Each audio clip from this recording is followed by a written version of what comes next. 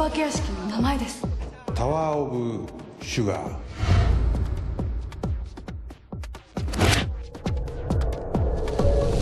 ここが犯行現場だよ。間違いないよ。いやまあちょっとあれお？誰もいない学校って。なんだか怖いね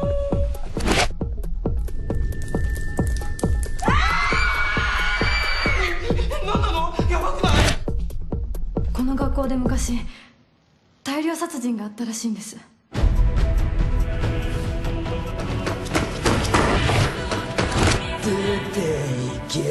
理科の佐藤先生はいらっしゃいますか？悪魔に魂を売った男です。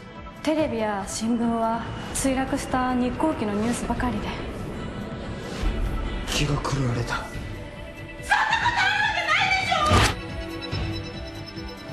えあ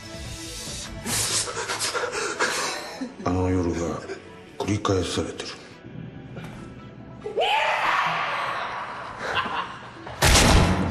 佐藤先生。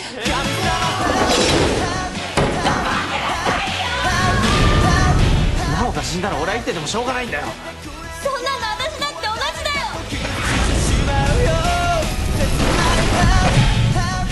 あなたたちはもうみんな死んでます